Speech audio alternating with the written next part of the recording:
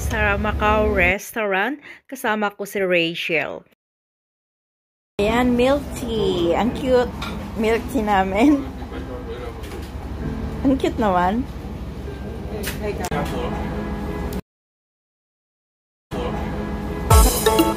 Ang sarap. Macau Restaurant, guys.